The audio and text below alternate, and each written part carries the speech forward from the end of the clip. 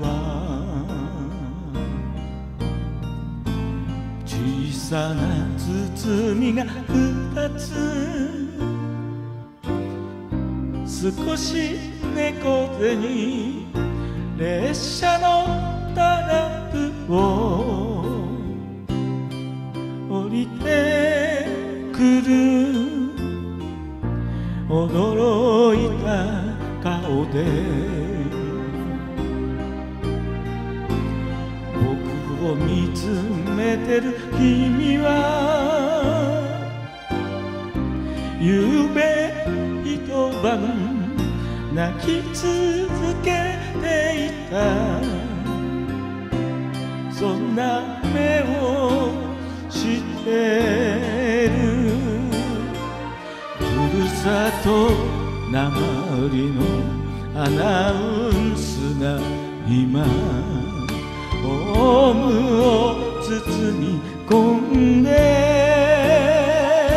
都会でのことは誰も知らないよ。話すこともいらない。駅に降り立てばそれで全てを忘れ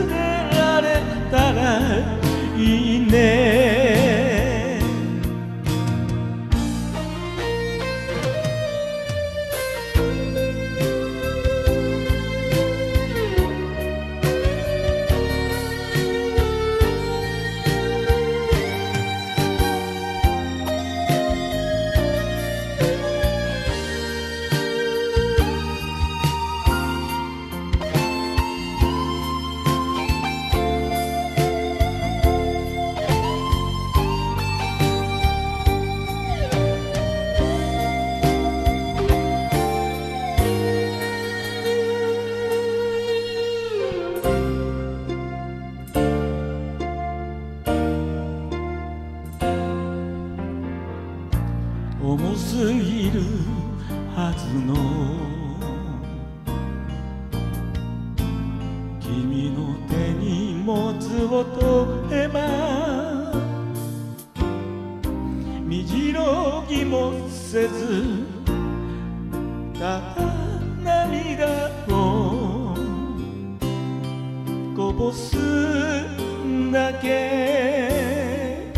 ざわめきの中で。二人だけ息を止めてる。口を開けば苦しみがすべて。嘘に戻るようで。季節の狭間ではぐれた小鳥が時計をかすめて飛ぶ。泣き晴らした目が帰ってきたことが。君をもう許してる。駅を出るまで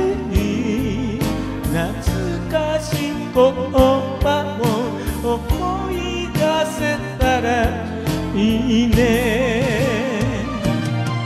改札口を抜けたんならばもうふるさとは春だから